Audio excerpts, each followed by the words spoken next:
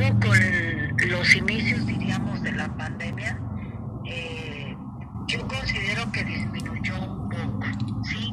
Porque al inicio sí era, era mucho la incertidumbre y también la ignorancia, que esto nos lleva al miedo de decir que si los animales estaban transmitiendo el coronavirus, que si los gatos, en fin. Entonces, al paso del tiempo que ya se empezó a conocer más acerca